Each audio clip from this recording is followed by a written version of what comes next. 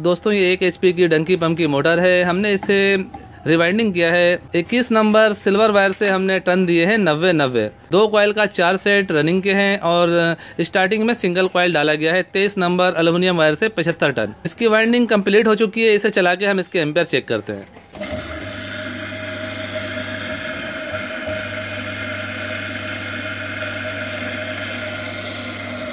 दोस्तों, इसके एम्पेयर 1.6 हैं। दोस्तों, ये मोटर अभी खाली में चल रही है एम्पेयर 1.6 है। इसे हमने 240 वोल्ट के हिसाब से वाइंड किया है। इस वक्त वोल्टेज जो है, वो हमारे पास, तकरीबन 230 आ रहे हैं। और ज़्यादातर यहाँ पे जो वोल्टेज है 240 रहता है। इसी हिसाब से हमने इसे वाइंड किया है कि इसके एम्पेयर थोड़े कम रहें। अगर हम इसे 220 वोल्ट के हिसाब से वाइंड करना चाहेंगे तो उस वक्त इसमें हम टर्न देंगे 90 और 80